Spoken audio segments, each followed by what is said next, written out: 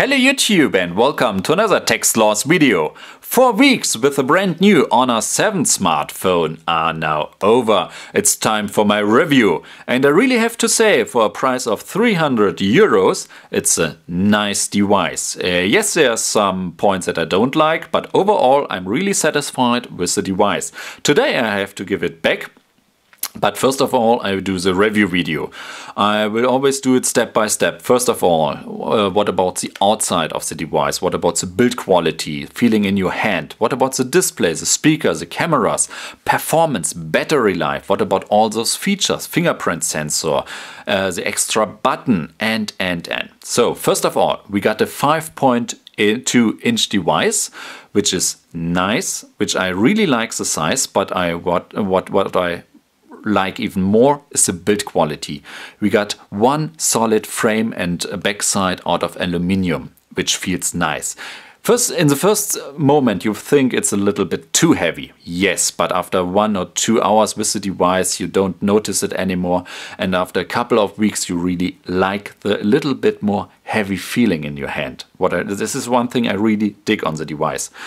The design really uh, let us think about the Huawei Mate 7, for example, or a little bit of the new Mate S from Huawei. Of course, it's the same. It's the same company, uh, but overall, really nice design. I really like the aluminium. I like the buttons. I can reach the on/off button easily. I can reach the volume down button. Yes, but not the volume up, uh, up button. Yes, I can reach it, but it's not. You won't have, have such a strong grip anymore in your hands. Then uh, let's go around the device. On top, we got our micro, uh, not micro, we got our microphone. We got our headphone jack. We got our infrared port if you want to control your living room with it. Uh, we got our combined dual SIM or SIM card and micro SD card slot. We got a special button uh, which you can program uh, how you want to use it. Uh, we got our microphone, we got a speaker, we got a micro, micro USB port. On the back side, we got our fingerprint sensor, we got our 20 megapixel camera sensor, we got a dual flash. And on the front side, we got no home button, we got our on-screen keys, we got an 8 megapixel front-facing camera, we got even a front-facing LED flash, we got a, and we got the speaker here.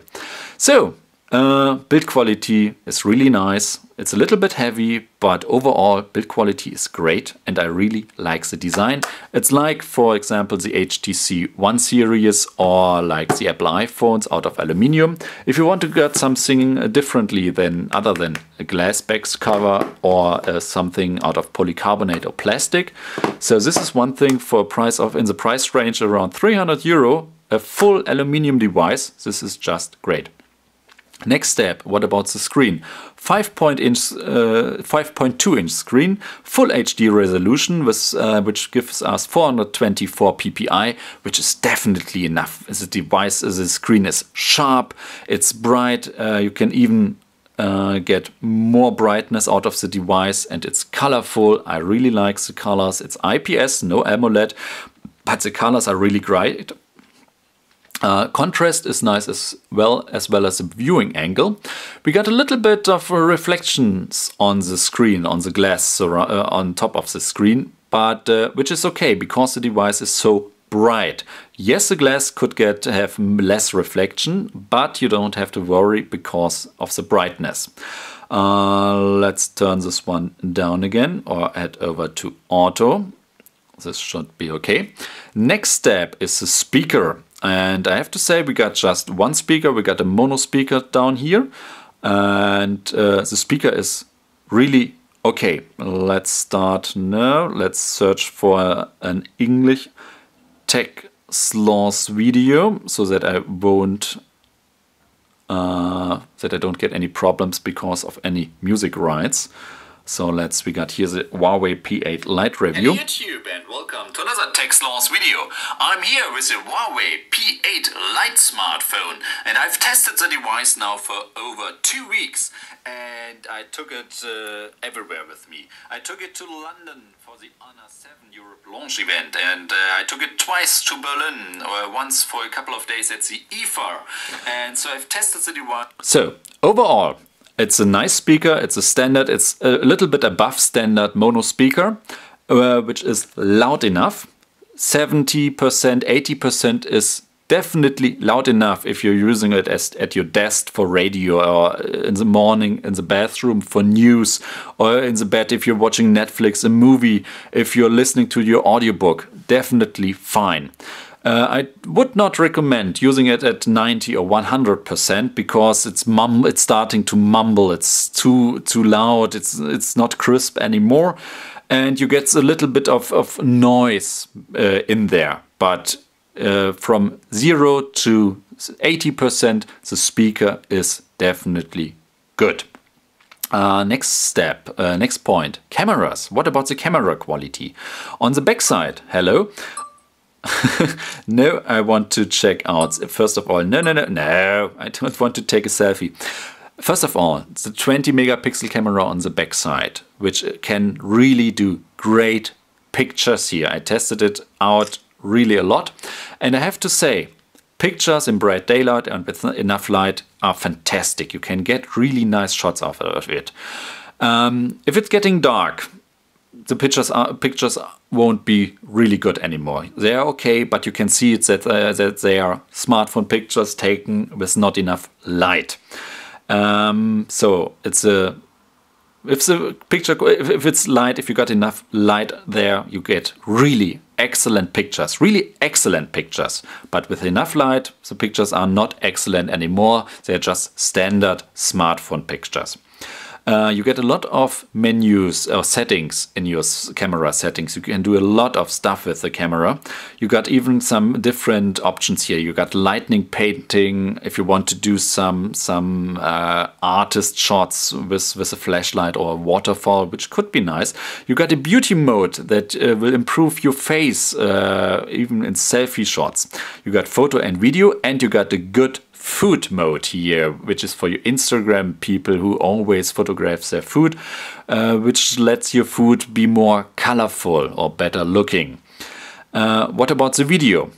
Video quality is the downside of the camera. I always think the camera quality is only, or the camera video resolution is only 720p, not full HD. Uh, and yes, you have manually to improve it to full HD, which I did.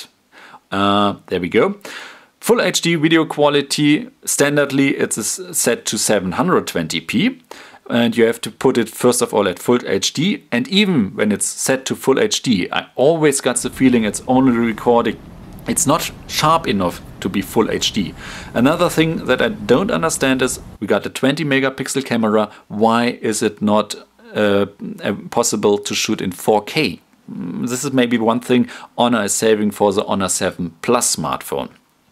Front facing camera, we got an 8 megapixel sensor here and again, which is really nice, which really making good pictures if there's enough light. If it's getting dark, there's an LED flash on the front side, which gives you better selfies than other, other uh, smartphones without a front LED. But overall, it's still a picture with not enough light with a flash. You will always see it. Video quality, again, could be better. Uh, audio quality in both cases with the front and back camera is okay, which gets standard quality. This is definitely okay.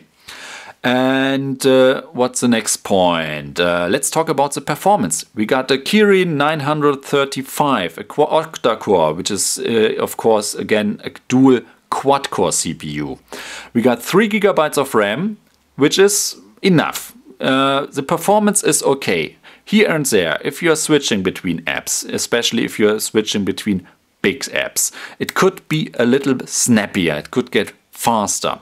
But when you are browsing the web or when you are on your website and you are surfing and the website is loaded, it's really a fast device. Let's load up the, the, the website here and then, come on, come on. So, scrolling around the website is fast, it's snappy and zooming in, zooming out, it's, it's just smooth. Overall, it's a really nice performance. Look at this is running.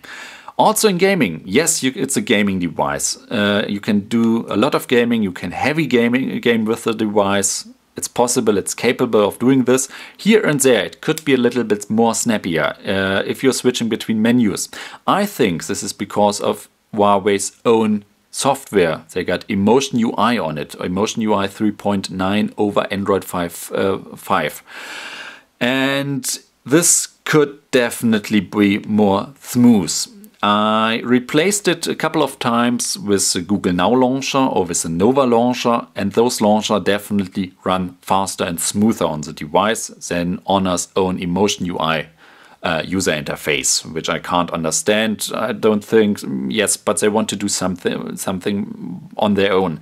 Just compare all the apps I'm standardly using on the device with all the standard apps Huawei or Honor is putting on the device. They want to give you their own apps that you want. They want to separate them from from Google apps or other uh, app manufacturers. But uh, normal people know. Yes, it's nice to have an alternative, but overall, you still will be using your standard Google apps and your standard normal apps.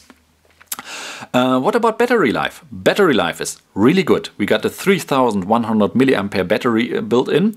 It's fixed. You can't remove it. You can't exchange it. We can't, don't have wireless shield charging because of the aluminium backside, but we got quick charging. You can charge the battery in around one and a half hours if you got a quick, if you got a uh, big or a powerful charging device.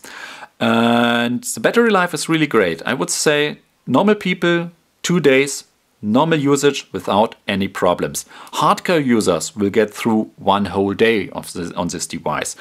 Gaming is a little bit more tricky because gaming is a heavier thing you can do to a smartphone.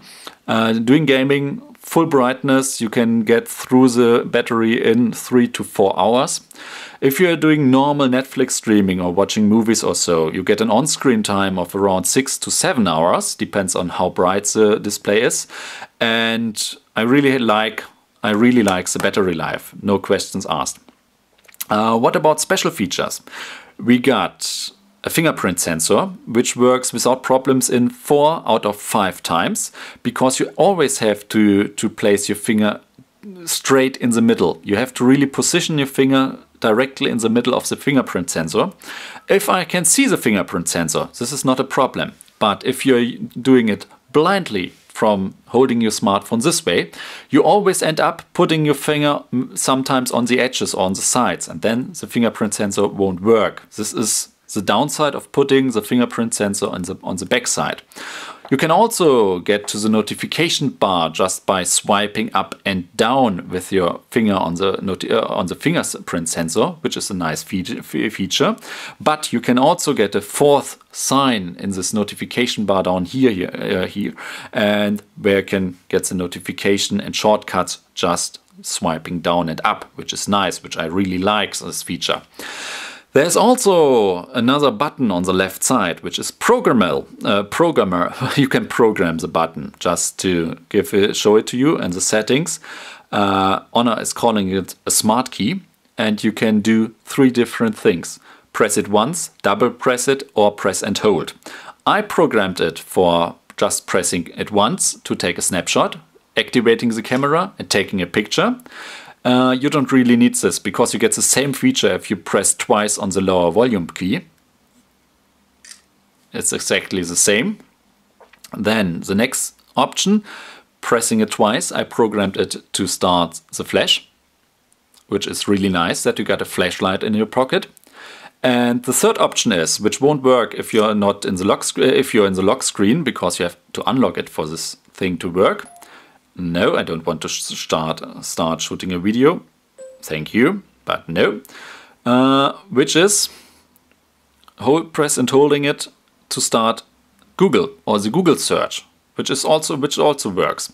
Uh, but you can uh, program it there wherever, whatever to do whatever you want. Just to show you, you can do some shortcuts: none, ultra snapshot, voice recording, flashlight, or screenshot, or you can use it to open up every app you got on your smartphone. And just for your guidance here, there, there's a there's a lag, there's a performance not really that good. Scrolling through all your apps is not that smooth. You always got lag here and there, and this is because I think the Emotion UI 3.1 is not really good programmed or it's not programmed uh, to, to, to 100%. You got because if you're using another software on the device, another launcher, it's definitely more snappy. What else do we got? We got no NFC, we got LTE, and of course we got again uh, a dual slot here. Either you can put in two nano SIM cards and uh, use it in a dual SIM way, maybe for two different numbers, or you got one SIM for data and messages, uh, or one SIM uh, for telephone and messages, and the other SIM card for, for data, no problem. Or you can use it uh, with one nano SIM card and a micro SD card if you want to get more storage. I got here the European 16, uh, the Asian 16 gigabyte version um, which is um, getting getting a little bit crowded because let me show you normal usage four weeks I got fairly around 3.4 gigabytes of free storage left which is still enough but uh, 4 gigabytes of apps and close to 2 gigabytes of pictures and photos so yes it's working but if you want to expand the memory no problem I've tested it with a 64 gigabyte SD card myself. Friend of mine tested this with a 128 giga micro SD card, which also worked. So this is also nice. What else do we got? Of course, we got the notification LED and uh, that's it. Price. What about the price? Here in Europe, the device costs around 350 euros, but Honor started a, a discount a, a discount uh, thing again uh, already twice, giving you 50 euros off. So I would really have to recommend not paying more than 300 euros for the device. Either you wait for the third uh, discount uh, thing or you wait until they have reduced the price to standard 300 euros. And another thing is, uh, the device uh, is available in two different colors, either a white front and a light silver back color or a black front and a darker silver backside. I really recommend taking the black version because we got a black frame around the display which is a little bit bright. It's a little bit heavy. It's a sort of heavy bright black frame here, which you notice on the white version, but you won't notice it that much on the black version.